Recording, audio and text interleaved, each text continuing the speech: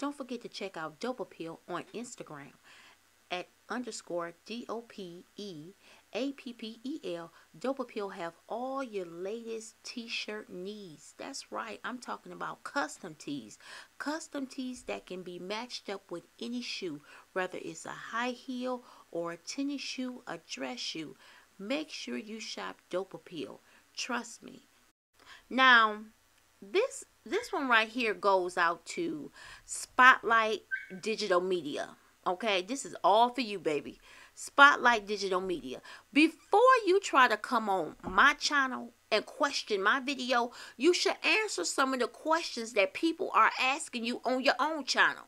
See, people are asking you this on your own channel and you're not even responding to it.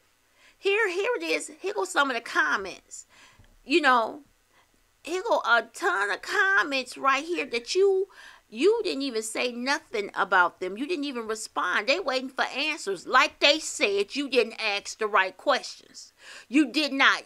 He was saying the same shit over and over again. He already did that three interviews ago. So then you come on my page and tell me, oh, well, stay tuned for part two. Bitch, you supposed to have it done in part one. It don't take all that. But next time you need no filter news and talk help, just ask. Don't try to throw shade. Just ask me if you ask me to. Okay? If you ask me to, I just might say, yeah, I would have helped you with the cowboy interview. I don't even know you, and clearly you needed some help because you blase your ass over there on my channel. See, now I'm going in like Thaddeus Matthews. you blase it on my channel talking about uh all this all this mess that you're talking about, but you're not even responding to the people on your own channel. You know what I'm saying? You got way more views than I got on my own on, on my video on Cowboy. So why the fuck you over there? Oh, you feel intimidated. And you working with him. See, because you put some now now that I have you right here, you put something in his mouth. And he didn't even say that. You was like, well, we all know that you would have took a bullet from for Nip. when?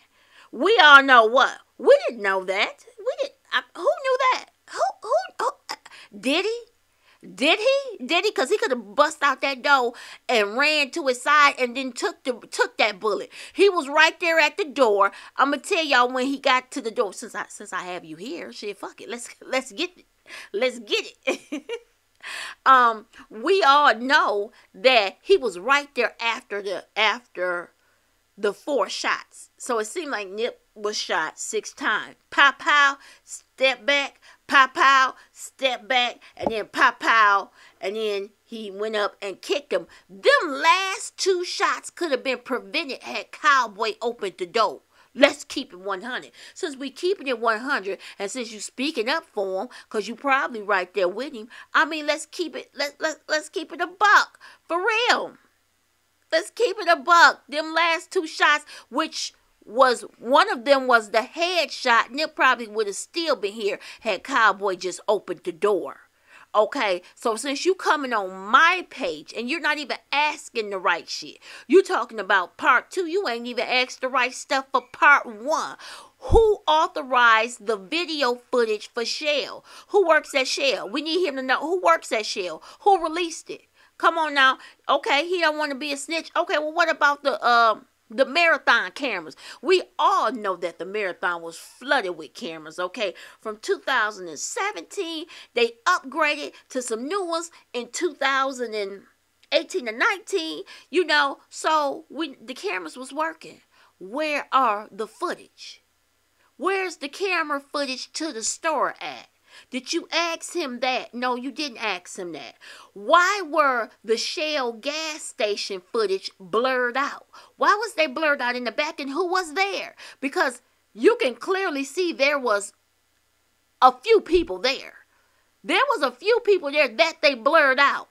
And they blurred out Cowboy standing right there in that glass. Now, you didn't watch my previous video because I said Nope, I wouldn't have been mad at Cowboy for standing there because he didn't have, he probably didn't have no gun on him.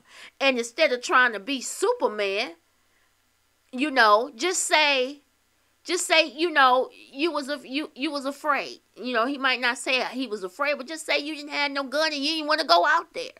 See, those are the questions, honey, that you should have been asking. And what about Kerry's son? Was Kerry's son there? Because Kerry's son got picked up. Why ain't nobody touched on that? See, if you needed no filter help, all you had to do was ask no filter.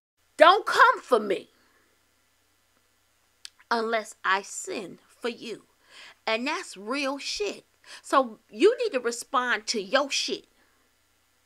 Sweep around your own front door before you try to sweep around mine. Let me clean this shit up on your own page. Answer your own questions on your own page. Answer people got questions on your own page. Answer them before you come over there asking me any motherfucking thing. You didn't ask the right shit. And yeah, I put my video up. Pull up. I put my video up about about how Cowboy sporting some new ice. I ain't never seen him sport the new ice. I just strolled all up and down his timeline. But like I said, maybe he been had it. But you gonna say all up in this man's business. You're a gossip. You damn right. I'm a gossip. Your ass supposed to be a gossip. So the next time you need my help, just ask. Now that that was right there. That was one percent of what could have been done. I, I I'm really trying to keep my cool. But don't come for me. Don't motherfucking come for me. Period.